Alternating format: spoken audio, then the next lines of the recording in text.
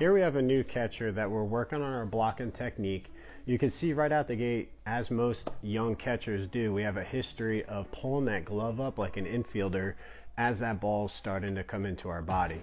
So one of the things we're gonna work on is getting our stance wider and working on getting our glove down to the right position to start the block. So one of the things that we wanna start with is making sure we're getting our glove down and deep. So with the blocking buddy here, as soon as that glove goes down and in to block and we pull it in, it's gonna lock us in that position.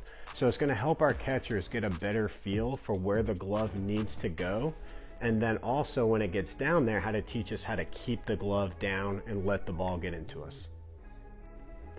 So right here, we're just working on the basic fundamentals of getting our glove nice down and deep. So as soon as that glove gets deep and it locks, it's gonna hold us into that position. So now when the ball comes in, we don't pull our glove up to get out of the way. So now we're gonna start throwing the balls in at them and get that feel for where the glove needs to go and how to use our body. Notice we're starting on our knees because the first thing we have to do is get a feel for where our glove needs to get to.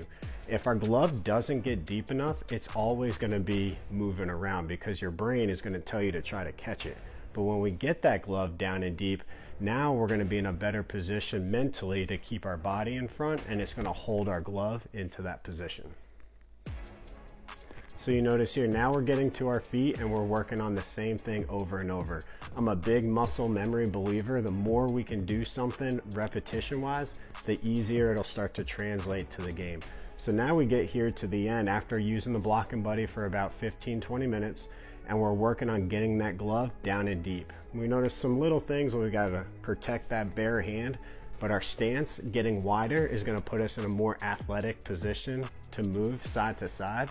But the biggest thing here is getting to that position and then that glove going nice down deep and then we're gonna hold it into that position right there. When we can hold our glove down, now our shoulders can help control the blocks. So blocking is difficult to do. If you have any issues with it, send me uh, an email or a message. I would love to answer questions that help you accomplish your goals of being a blocker. And if you